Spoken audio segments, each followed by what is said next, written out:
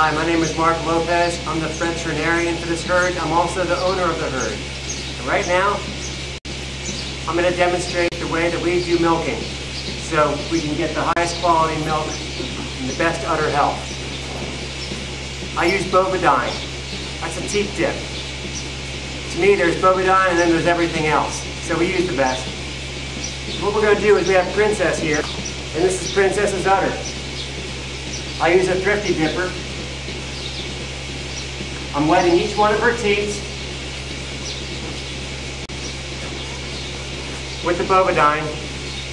Now what I'm going to do is I'm gently massaging in the bovidine so it loosens up any surface dirt.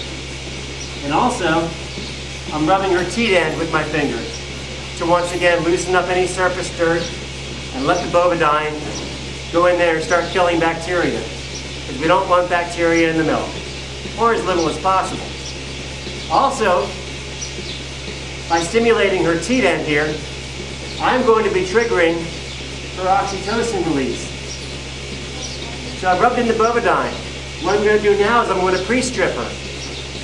I'm gently stripping out some milk, removing any milk that may have been contaminated by bacteria from an open teat sphincter, and I'm also mimicking the suckling action that a calf might do, further stimulating the oxytocin-induced release.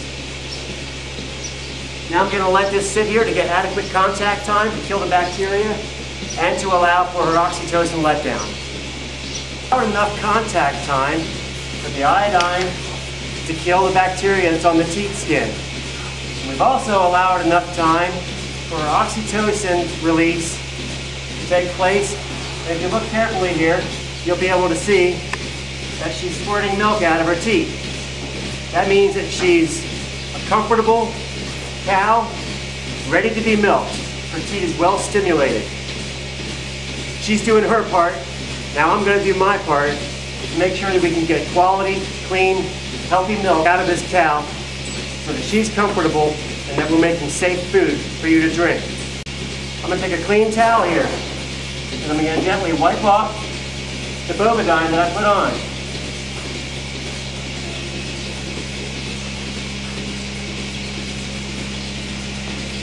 I'm twisting just a little bit so I can get the teat ends wiped off because the teat ends are the most important part. I'm flipping it over and now I'm manually, I'm manually, I'm examining each teat end wiping it off so it's nice and clean.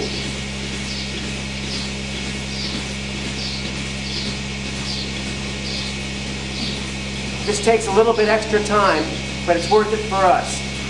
It's good for milk quality, and milk is food, so it's food quality.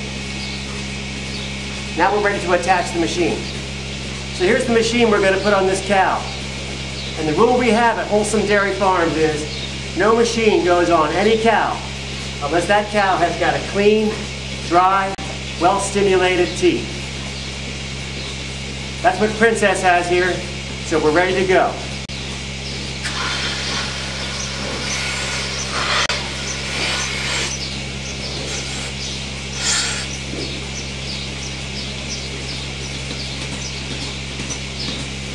And you can see she's giving up the milk. She's a happy cow. I'm a happy veterinarian and a happy cow owner. And our clients are going to be drinking clean milk. That's how we do it. You do the same thing, you're going to have as few mastitis cases as we have. Zero. we brag about milk quality here.